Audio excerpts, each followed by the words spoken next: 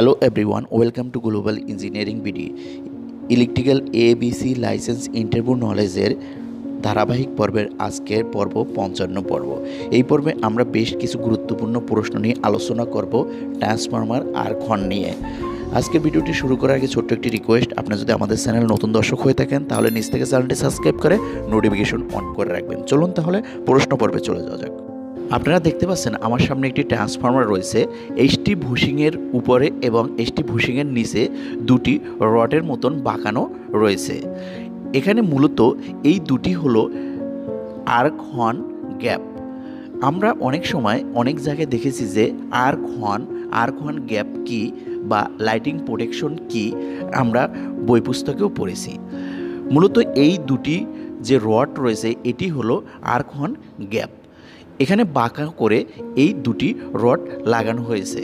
HT বুশিংয়ের উপরে যে HT কেবল connect করা হয়, সেই কেবলগুলো বিভিন্ন ভোল্টেজের হয়ে থাকে, অর্থাৎ এগারো হাজার, তেত্রিশ হাজার বা তারও উপরে হয়ে থাকে। এই কেবলের মাধ্যমে যদি কোনো হাই ভোল্টেজ চলে আসে, সেই হাই ভোল্টেজকে গ্রাউন্ডে প্রেরণ করে এই আর্কহান আর্কহান মূলত প্রোটেকটিভ হিসাবে কাজ করে এই ট্রান্সফরমারের এসটি বুশিংয়ের জন্য। অনেক সময় বজ্রপাত হলেও এই আর্ক হর্ন কাজ করে থাকে হাই ভোল্টেজের বেলায়।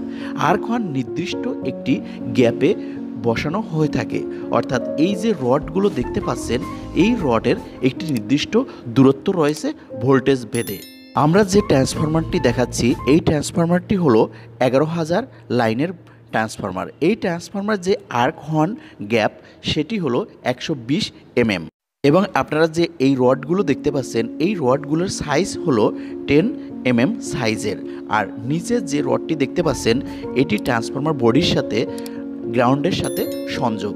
যদি কোনো হাই ভোল্টেজ এখানে প্রবেশ করে, তাহলে গ্রাউন্ডে প্রেরণ করে দেয় এই আর্ক হর্নের মাধ্যমে। এখানে নির্দিষ্ট গ্যাপ রয়েছে, এই গ্যাপের মাধ্যমেই মূলত গ্রাউন্ডে প্রেরণ করা হয়ে থাকে।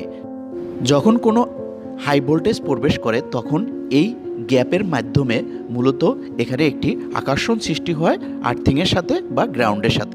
এই ছিল আজকের ভিডিও ভিডিও যদি ভালো লাগে, তাহলে অবশ্যই লাইক করবেন শেয়ার করে বন্ধুদের মাঝে ছড়িয়ে দিতে একদম বলবেন না। আর যদি আপনি এখন এই চ্যানেলকে সাবস্ক্রাইব না করে থাকেন, তাহলে নিজ থেকে চ্যানেলটি সাবস্ক্রাইব করে নোটিফিকেশন অন করে রাখুন।